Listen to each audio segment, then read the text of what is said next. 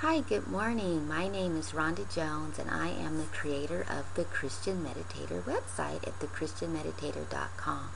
And today I'm going to answer the question what is Christian meditation? Well, in the simplest terms, Christian meditation is being with God, it is dwelling in His presence.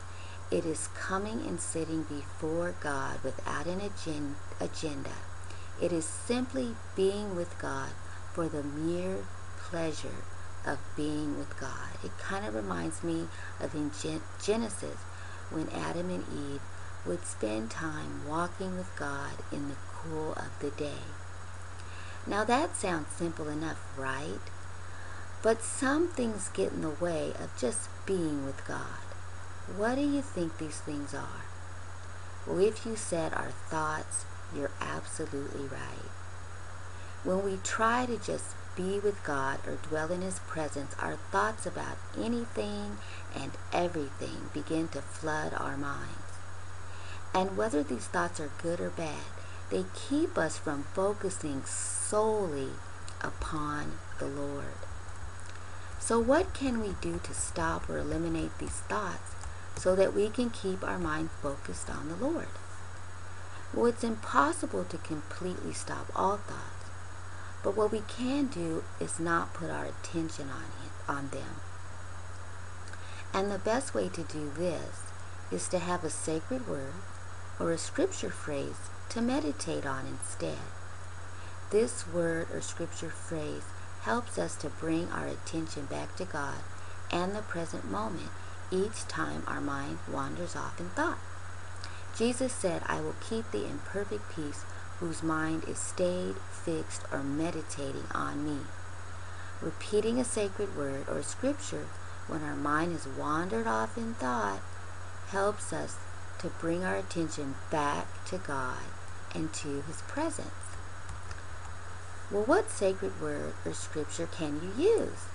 The words Jesus, Lord, Savior, peace, harmony, Holy Spirit, God, Father, Creator, trust and faith are all words that are rooted in the Bible. For a scripture phrase, you can choose all or part of Psalm 23, the Lord's Prayer, or verses in Proverbs, or any other verse that resonates with you. But you'll just need to memorize them first.